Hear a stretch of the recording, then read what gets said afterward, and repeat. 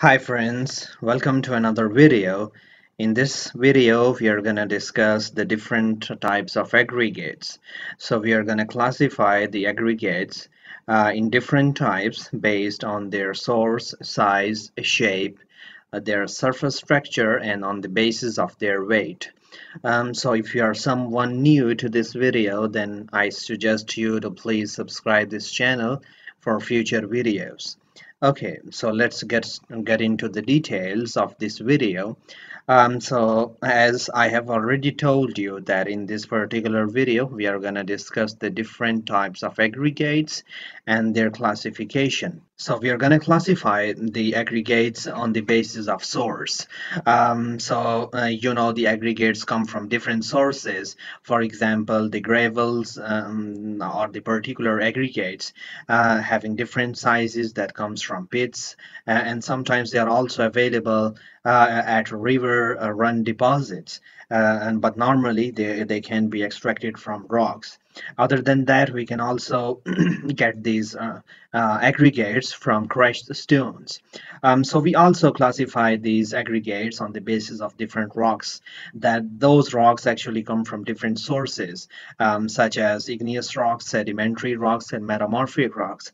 So if we discuss a little bit detail uh, about these rocks so the igneous rocks actually come from uh, uh, by volcanic action you know? There is always um, a process. uh, and volcanic activity going on inside the uh, inside uh, our earth. And sometimes due to high temperature and pressure results in volcanic eruption. And that actually results in the formation of igneous rocks. Um, then we come then here comes the sedimentary rocks. Uh, these rocks actually are obtained from inorganic remains of marine animals. And they are stratified which means that they are formed and present in the form of layers the next one is metamorphic rocks, which are actually formed um, due to the pressure and the heat generated uh, are due to the um, pressure uh, um, due to the pressure with that comes from the earth surface or the upper layer of the surface.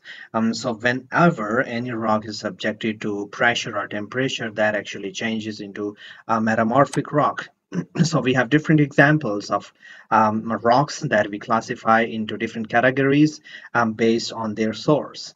Um, so the igneous rocks, the, the example of igneous rock is a granite that is a stone uh, that has a high density and it is used to cut different materials and uh, it is really uh, used in precious material.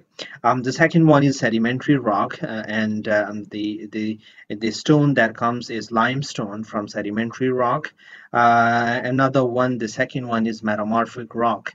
Uh, so we have example of marble in this case. So in sedimentary rock, there is limestone. As you can see, these layers are arranged above each other and each has particular um, particular layer and the lines so these are the different examples of the different rocks. So if we just classify the rocks on the basis of size then we have actually two different um, aggregate types. And the first one is fine aggregates and second one is coarse aggregate.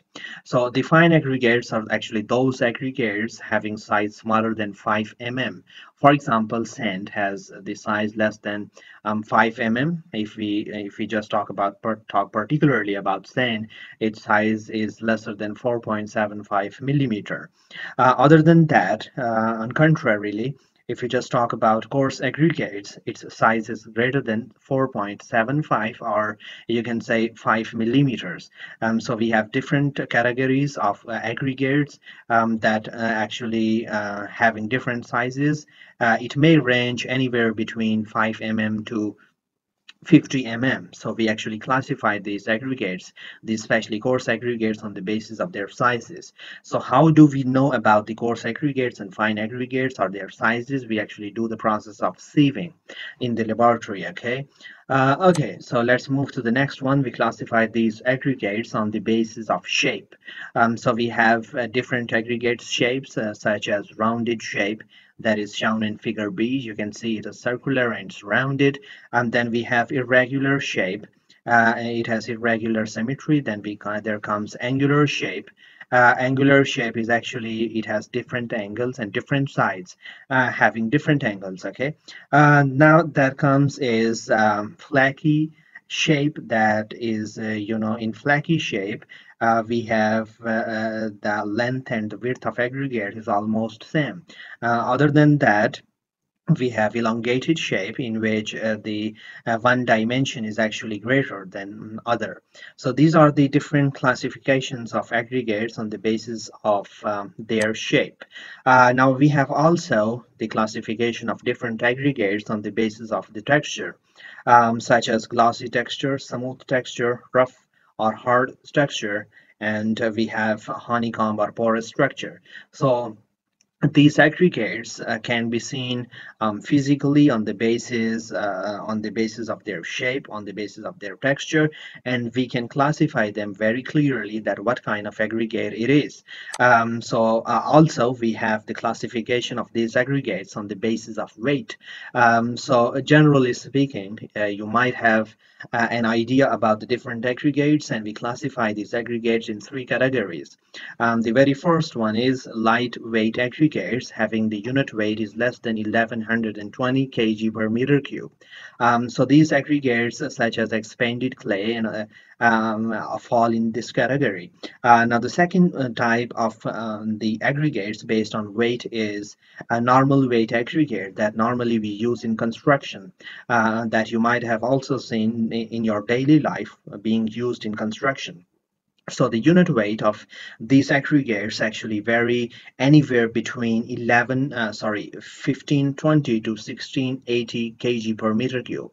So the most of the natural aggregates uh, fall in this category that we use in building construction and uh, other uh, buildings. Um, the next one is the heavy weight aggregates having the density or unit weight is greater, greater than 2080 kg per meter cube. So these are actually high dense uh, materials or aggregates uh, such as uh, minerals, uh, different minerals of barium, iron, titanium, ores, or uh, others. So these are the different uh, different types of aggregates that we use in construction, and it actually varies uh, depending upon their density, their unit weight, and some other physical and chemical characteristics. Um, so in this uh, video, we have actually discussed the classification of aggregates on the basis of size, shape, weight, and physical characteristics. Um, so guys, if you have liked this video, if you have learned something from this video, then uh, please subscribe to our channel because we upload a lot of videos every single day and keep yourself updated and connected. So see you later and thanks for watching.